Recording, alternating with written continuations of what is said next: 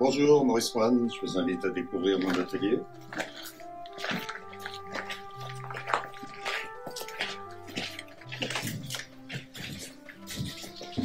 Donc, je pratique la peinture à l'huile, voici mon univers,